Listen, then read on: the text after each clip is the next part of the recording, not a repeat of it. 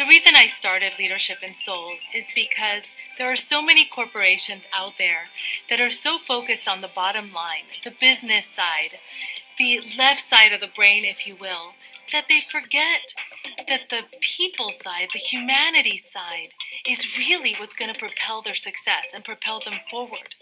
So I work with boards of directors and C level executives to really help them propel their business forward by re engaging those actively disengaged folks.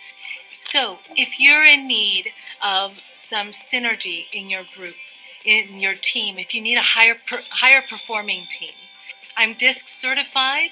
I do a lot of different profile assessments, lots of retreats, webinars. I have a high performance academy where I have a, a, very exclusive group come together once a month for 12 months, and we have a graduation at the end. If you want to take your team to the next level, give me a call and let's affect your bottom line in a positive way.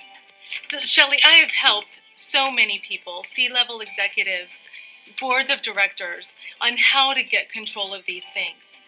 And Yes. it really does help. It's a proven system, and it's worked for many, many people. Absolutely. And not only that, at the Women's Leadership Conference recently, Carol packed the room with her presentation. And I've worked with her independently, and she has transformed my business. And I enjoy working with you, Carol. I really do. Thank you, Shelly, so much.